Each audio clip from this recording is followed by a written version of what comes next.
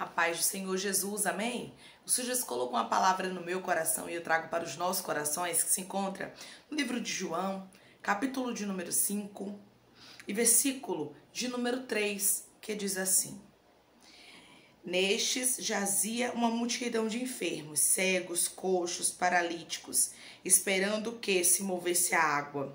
Portanto, o manjo descia em certo tempo, e agitando-a, e o primeiro que entrava no tanque, uma vez agitada a água, sarava de qualquer doença que tivesse. Estava ali um homem enfermo, havia 38 anos. Jesus, vendo-o deitado e sabendo que estava assim há muito tempo, perguntou-lhe: Queres ser curado? Respondeu-lhe o enfermo: Senhor, não tenho ninguém que me ponha no tanque quando a água é agitada, pois, enquanto eu vou, desce outro antes de mim. Então lhe disse Jesus: Levanta-te, toma o teu leito e anda. Imediatamente o homem se viu, se viu curado e, tomando o leito, pôs-se a andar. E aquele dia era sábado. Amém? Glória ao Pai, ao Filho e ao Espírito Santo de Deus por esta palavra, irmãos. Como um encontro com Jesus muda a vida do ser humano. Como Jesus tem o poder extraordinário de marcar encontro e mudar a nossa história. A Bíblia nos diz, irmãos, que há 38 anos esse homem vinha padecendo de uma enfermidade a qual deixava ele paralítico. E nós vamos observar que ele via muitas pessoas passando na frente dele. Ele via muitas pessoas recebendo a vitória e ele ficando para trás. 38 anos de espera, não é brincadeira não. E a Bíblia diz que Jesus marcou o encontro com ele. Jesus foi até aquele tanque, chamado em hebraico Betesda, para curar exclusivamente esse homem que aguardava há muitos anos. Talvez você aguarda há muitos anos uma promessa chegar. Há muito tempo uma vitória chegar e você diz: Ô oh, irmã, Fulana já passou, já viveu vitória, glória a Deus. Fulano já passou, já viveu vitória, glória a Deus. Mas parece que as promessas de Deus não vão se cumprir na minha vida. Mas parece, Libiando Cantarasto, que os propósitos de Deus não vão se cumprir na minha história porque eu estou vendo o tempo passar e eu não vejo nada acontecer. Irmãos, não é brincadeira, não. O tempo castiga. O tempo muitas vezes nos machuca. Esse homem estava tão machucado que ele já não tinha mais esperança de ser curado. Jesus pergunta para ele, irmãos, queres ser curado? Jesus não perguntou assim: você acha que é possível você ser curado? Você acha que você consegue ter êxito nesse tanque? Jesus não perguntou isso para ele. Jesus perguntou para ele, ele: você quer ser curado? Só que a frustração, irmãos, era tão grande no coração e na mente deste Arabadaraia e na mente deste homem que esse homem já não conseguia, sabe? Responder com aquela certeza: Eu quero, Senhor. Eu quero ser curado, eu estou aqui aguardando por isso. Ele já estava 38 anos nesse tanque, mas já não cria mais que a vitória ia chegar, que ele ia conseguir, porque ele mesmo diz que todas as vezes que a água era agitada, alguém vinha e passava na frente dele. Nós vamos observar que ele tinha uma limitação. Ele não conseguia andar, irmãos, então com certeza ele precisava se arrastar quando ele via a água sendo movimentada. Só que tinha pessoas ali que estavam também enfermos. Tinha muita gente enferma naquele lugar. E muitos dias passavam na frente deste homem. E 38 anos esse homem vendo a mesma história. E talvez você entrou aqui vendo a mesma história na sua vida, como se fosse uma rotina. Você vê pessoas recebendo vitória, você vê pessoas recebendo batismo com o Espírito Santo, você vê pessoas recebendo bênçãos e você parece que está ficando para trás.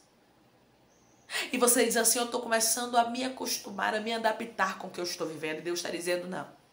Eu não lhe chamei para se acostumar e andar a baracanta. Não te chamei para se adaptar. Não lhe chamei para ficar frustrado de cabeça baixa e dizendo: ah, eu, nem, eu acho que eu nem vou ter êxito, eu nem vou mais lutar por isso. Jesus foi claro, direto e objetivo com ele: quer ser curado. Jesus sabia de todo o sofrimento daquele homem. Jesus sabia o quanto ele aguardava, o quanto ele almejava, o quanto ele estava frustrado e o quanto ele esperava uma cura. E Jesus lhe trouxe aqui para lhe falar que ele te conhece nos detalhes.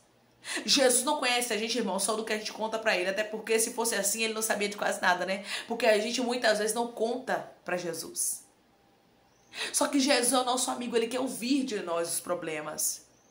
Ele quer ouvir o que a gente está enfrentando, o que a gente está passando. Só que Jesus conhece a gente além do que a gente pode contar. Ele conhece a gente no íntimo. Ele sabe quantos fios de cabelo tem na nossa cabeça. Ele sabe de tudo que nos frustra, que nos irrita, que nos deixa abatido, que nos deixa entristecido, que nos deixa sobrecarregados. Deus sabe de tudo. E Jesus está dizendo Ribiandaraia, Arabadaramante o cantalasturi, através da palavra dele para você. Que ele é o Senhor que sabe onde é que está o seu problema. Que ele é o Senhor que sabe onde está a raiz. Eram 38 anos e Jesus sabia que eram muitos anos de sofrimento. Só que aquele homem responde a Jesus, dizendo: Senhor, não tenho ninguém que me ponha no tanque. Olha a resposta dele: Eu não tenho ninguém para me ajudar. Ele estava ligado no tanque enquanto o milagre estava na frente dele. E às vezes, irmãos, nós estamos ligados no tanque enquanto a providência, o milagre está diante de nós. A cura estava diante daquele homem. Aquele homem não ia poder, não ia precisar, irmão, se levantar, não ia precisar se alvoroçar, tentar, né, se arrastar até o tanque. Sabe por quê? Porque Deus já havia chegado. Porque Jesus estava na frente dele para operar milagre. Você não vai precisar fazer forças. Jesus está indo até você para operar milagre. A história daquele homem, irmãos, era uma história de frustração. Mas a frustração estava com os dias contados. Aquele homem não ia precisar mais ficar entristecido, abatido, aguardando uma cura de uma água que se movia de vez em quando. E chegava uma cura e as pessoas tomavam a frente dele. Mas Jesus estava dizendo para ele: quer ele ser curado? Ele diz assim: ó. Senhor, não tenho ninguém que me ponha no tanque quando a água é agitada, pois enquanto eu vou, desce outro antes de mim. Ele expõe para Jesus a frustração dele. Olha como ele expôs, como ele colocou diante de Jesus. Olha como ele disse: quando eu vou, outro vem na minha frente e recebe o um milagre, eu fico aqui esperando. E resumindo, eu já estou nessa história aqui há 38 anos. Era mais ou menos isso que ele estava dizendo, trazendo para as nossas palavras de hoje, para você entender melhor. Mas a Bíblia diz, irmãos, que Jesus ele dá somente uma ordem.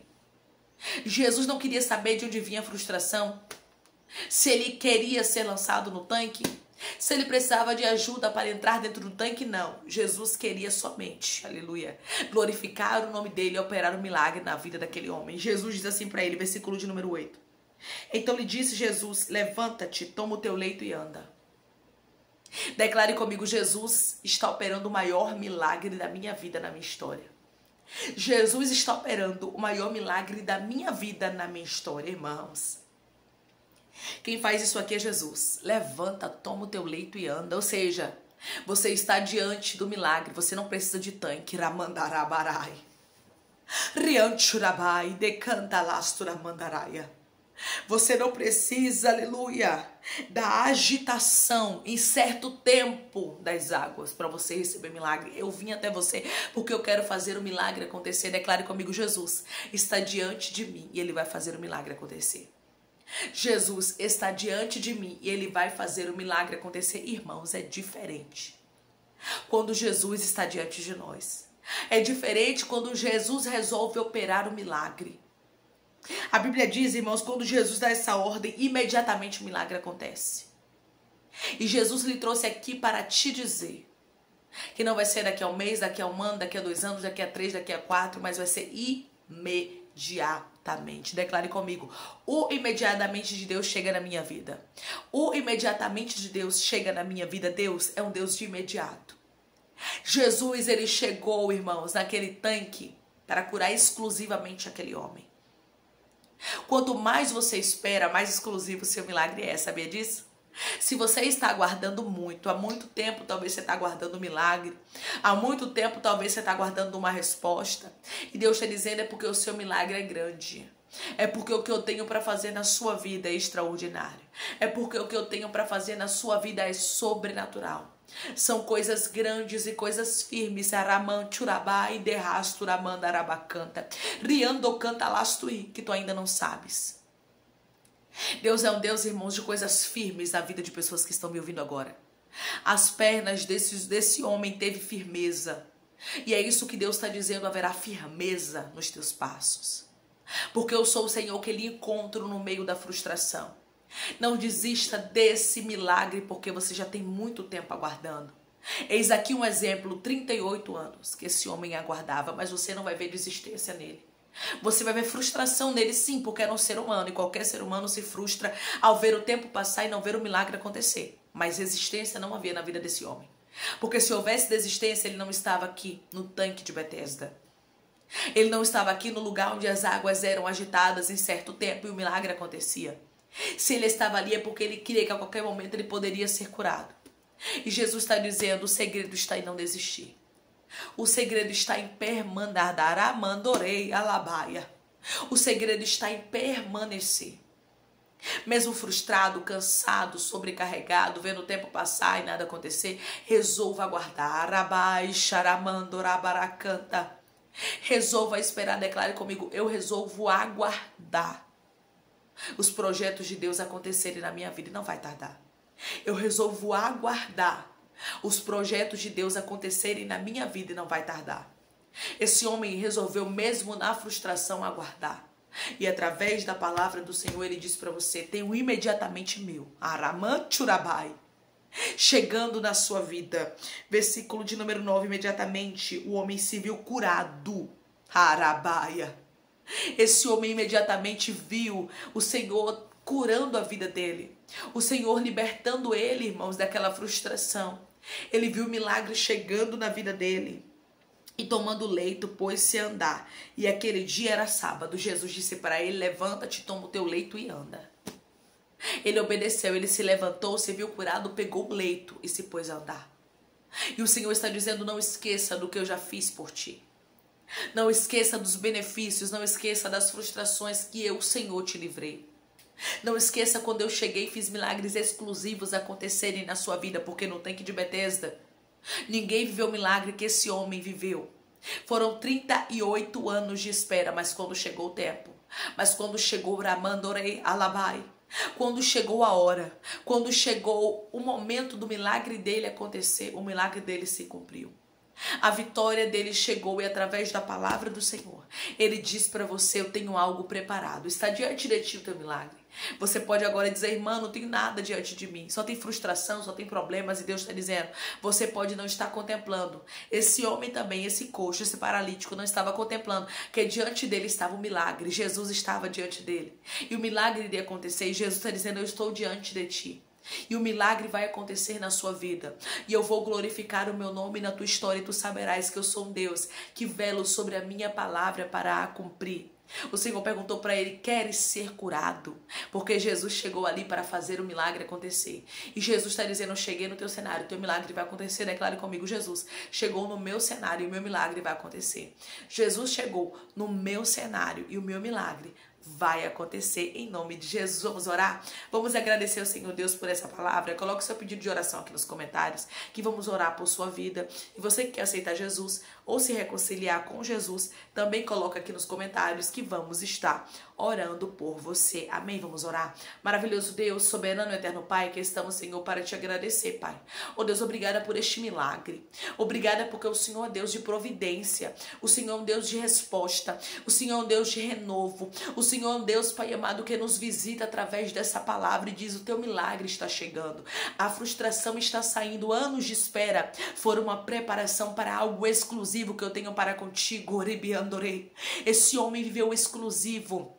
Esse homem viveu sobrenatural, algo que os homens, que as mulheres, as pessoas que estavam ali naquele tanque não viveram, mas Jesus exclusivamente deu a cura para ele. Jesus exclusivamente deu milagre para ele. Jesus exclusivamente tirou ele daquele momento de opressão, de dor, de angústia, de sofrimento, de aflição e entregou para ele vitória. Pai, nós cremos que a vitória, aleluia, já chegou para a glória do teu nome. Nós cremos que o milagre já aconteceu. Nós cremos que riandorei, halamandarabacanta que o sobrenatural já aconteceu, porque o Senhor é um Deus de vitória, porque o Senhor é um Deus de milagre, porque quando o Senhor chega no cenário, no recinto, é para operar milagre. O Senhor chegou no tanque de Betesda para mudar a vida deste homem que jazia 38 anos sofrendo de uma enfermidade. E eu creio, meu Senhor, que o Senhor chegou na nossa vida, na nossa casa, na nossa família, na nossa história, para tirar toda a frustração, entregar milagre, glorificar o teu nome. Oh Pai, toma aqueles que estão te aceitando, Jesus,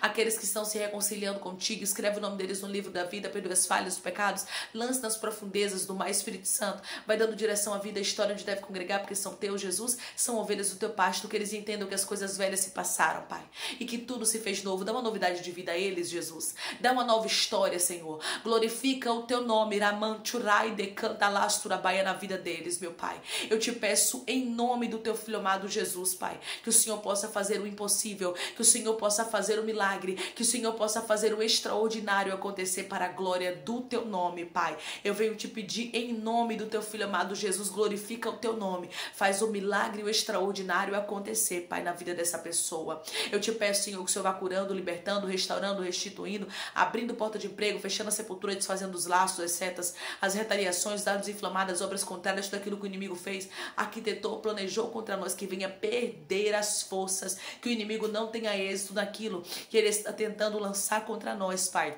Porque maior é quem está conosco do que o que está com ele, meu Pai. E se o Senhor é por nós, quem será contra nós, meu Pai? Nos livra de todo o mal. Toma cada pedido de oração aqui nos comentários. O Senhor não conhece a necessidade, mas o Senhor conhece e visita. Se for para a glória do teu nome, Senhor, faz o milagre acontecer e dá testemunho para o teu povo contar. Senhor, eu te peço, meu Deus, e já te agradeço em nome do teu filho amado Jesus Cristo. Amém. O Senhor está dizendo para você hoje: a sua frustração acaba, porque Jesus resolve visitar o seu cenário se você crer e recebe essa palavra em nome de Jesus. Jesus, declare amém.